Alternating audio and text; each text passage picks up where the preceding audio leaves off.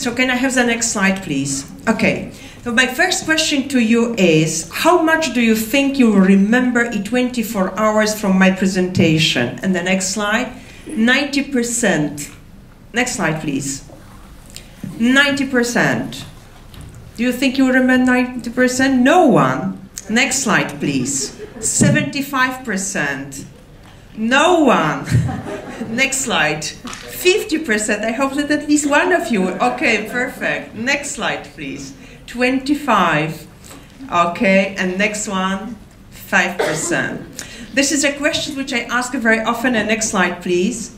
Which is a question which I ask very often to my students, our medical students, and then I show this slide. What is the average recall after 24 hours? And the fact is that if we are only listening, we will, you will remember 24 hours later only 5%. Next slide, please. If there's any chance that I can get it, it would help me tremendously.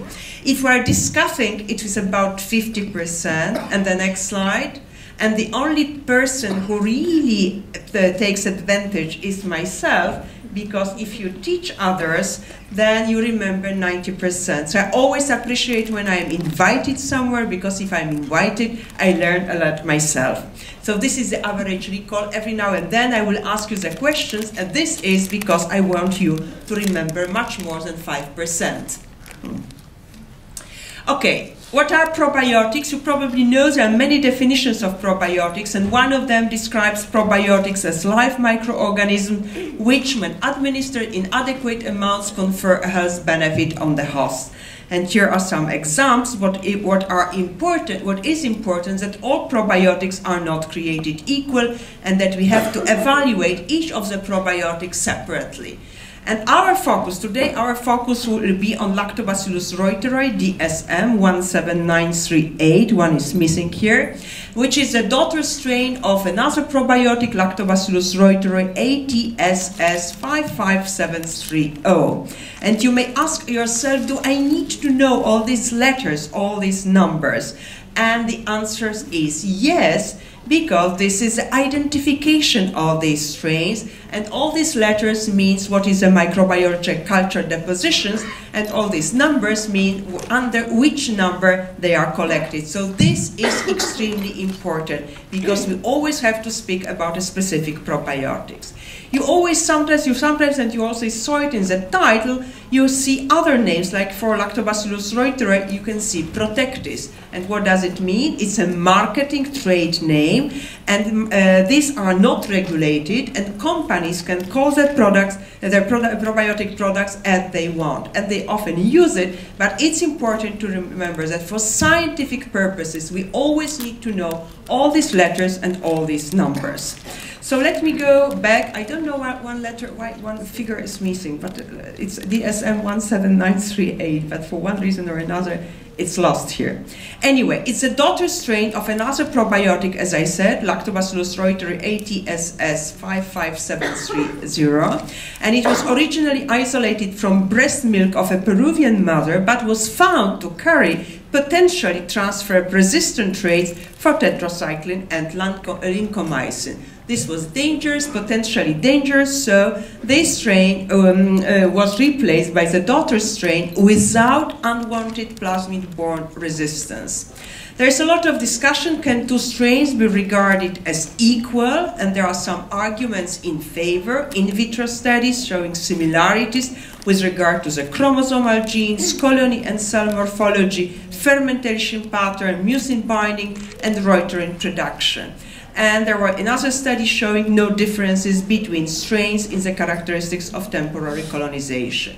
On the other hand, there are some arguments again, like one in vitro study showing on Lactobacillus GG, it was not on this strain, that even the manufacturing process might influence properties of probiotic bacteria. We don't know what is the clinical significance, but in summary, there are arguments against and for considering these strains is equal. Is it important? Yes, it is important to know uh, whether they are equal, because if they are equal, and as I said, many people consider them equal, then we can use the data on the mother strain to support the data on the daughter strain. And every now and then I will be showing the data of the older strain, and please keep in mind why I'm showing the and what is the question.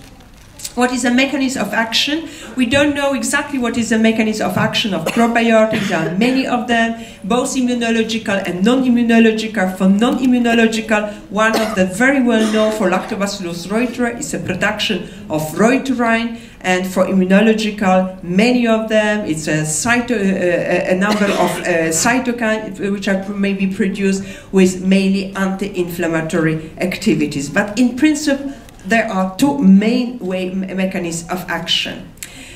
I come from a country when there are so many probiotics being sold. You have seen we are, we are one of those countries with a lot of studies on probiotics. And in my country, people are always asking me, is it marketing or true benefit? And I like very much evidence-based medicine. And for those of you who are interested in evidence-based medicine, you know that there is a hierarchy of evidence for questions about the effectiveness of an intervention.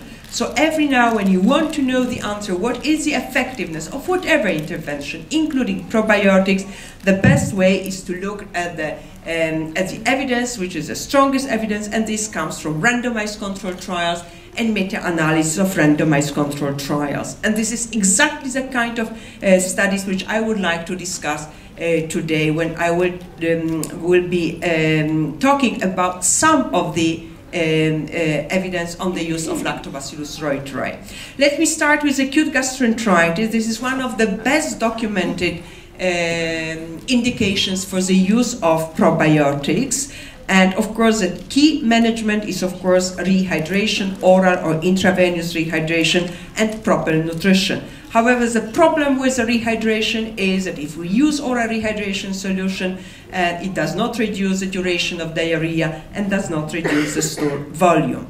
So what I would like to present you now is a new position paper which comes from ESPGHAN. ESPGHAN stands for European Society for Pediatric Gastroenterology, Hepatology and Nutrition. And together with some uh, of my colleagues, Flavia Indrio is one of the co-authors of this paper, we work on the on this position paper, and uh, for this position paper, we uh, include in this position paper we included systematic reviews and meta-analysis, and three meta-analyses were performed specifically to assist the development of the guidelines, and we looked at subsequently published randomized control trials. We are only interested in children who were previously healthy with acute gastroenteritis, and we looked at uh, those studies in which probiotics were well defined and compared with placebo or no uh, probiotic. And the two outcome measures which are important for us was the stool volume and the duration of diarrhea, primary outcomes. Of course, we also look at the number of secondary outcomes, but this was the most important. As I told you, three meta-analyses were performed specifically to assist the development of these guidelines, and one of them is a meta-analysis of Lactobacillus reuteri, strain DSM 17938, and the original strain ATCC 55730. And now you understand why we are looking at these strains uh, separately but also in the same paper for treating acute gastroenteritis in children. Uh, for this particular strain, we identified five uh, randomized control trials, and part of every systematic review is that we look at the methodological quality of included trials. And as you can see on this, on this slide, the methodological trials was not, uh, not equal. Uh, not equal. Everything that is marked with green means that there is no risk of bias. Everything that is marked uh, red means that there is high risk of bias, and everything that is marked uh, yellow means that is some that there were some questions. So there were some methodological problems with some of the trials. Three trials were on lactobacillus on the mother strain, and two trials were on the new uh, or the daughter strain, Lactobacillus reuteri DSM 17938. Here are our major findings from this meta-analysis. So if you compare Lactobacillus reuteri uh, versus control, then you will see for this uh, daughter strain, there was reduction in the duration of diarrhea, and the same for the mother strain. As you can see on this slide, we did not pull data on these two probiotic strains. We thought it's better to evaluate each one of them separately. But if you pull them, you will also see the reduced duration of diarrhea by approximately one day. We also looked, there were no studies which looked at the effect of Lactobacillus reuteri on stool volume. But there were studies which looked at the effect on the cure on day three, so there was increased chance on the cure on day three for both uh, for this strain. This was a uh, difference which was almost statistically significant. And again, we did not pull the data from those two strains, but if you pull them, there was also uh, increased chance for the cure on day three. So I showed you the data, the summary of data on Lactobacillus reuteri, and now I will have a question, would you recommend probiotics, and in particular, this particular strain, Lactobacillus reuteri DSM 17938, for the treatment of acute gastroenteritis in children? Now you can answer to yourself. I can hardly hear because I have problems after flying. So I will show you what was uh, what are the conclusions from the ESPGHAN working group on probiotics. We only make recommendations using the grade system where they were formulated in only if at least two randomized trials that use a given probiotics with a strain specification were available. For the Lactobacillus reuteri, that was true. So let us let me show what are the our final conclusions. we gave now uh, for this uh, position paper, we identified four probiotics with a positive recommendations. Like in previous our position paper, it was Lactobacillus GG and Saccharomyces boulardii, but what is new is Lactobacillus reuteri DSM 17938, and it's mainly based on the systematic review which I just showed you. And there is also in the guidelines Lactobacillus acidophilus LB, which is not typical probiotic because it's heat inactivated, so it's not, live probiotic, but still because it's usually discussed in the context of the probiotic, that's why it is discussed, it, it, it, it, it is in our position paper. So going back, to the probiotics which we are discussed. This is something new when it comes to compare to previous guidelines that Lactobacillus reuteri with a quality of evidence very low and weak recommendation, but it's now in the as one of the probiotics which may be considered in, in the management of acute gastroenteritis, always in addition to rehydration, never to replace rehydration. So this what I showed you, it was a use of pro, uh, Lactobacillus reuteri for the treatment of acute gastroenteritis.